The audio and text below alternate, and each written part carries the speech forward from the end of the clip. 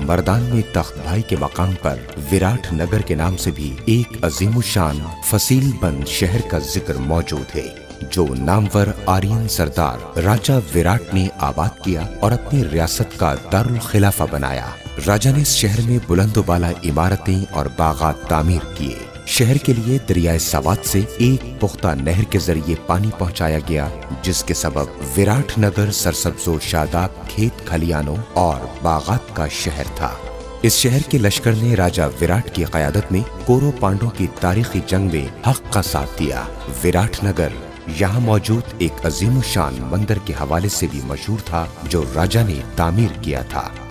विराटनगर किशान के दौर में भी एक बैन अवी इल्मी मरकज था जहाँ एक बैन अवी यूनिवर्सिटी के मौजूदगी के आसार आज भी तख्त भाई के आसार कदीमा के नाम से मौजूद हैं, जो कशान हुक्मरान कंशक ने तामीर किया था। पहाड़ी सिकरा की दूसरी जानब पहाड़ के दामन में आर्यन बुद्धिस्ट दौर के पेश बहा आसार हैं। बुद्धिस्ट खानकाहों और मनादरों के आसार कदम कदम पर मौजूद हैं।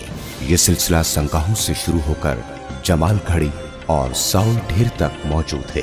संकाहों की पहाड़ी से ही माहरीन को पत्थर के जमाने के इंसानी इस्तेमाल के औज़ार मिले।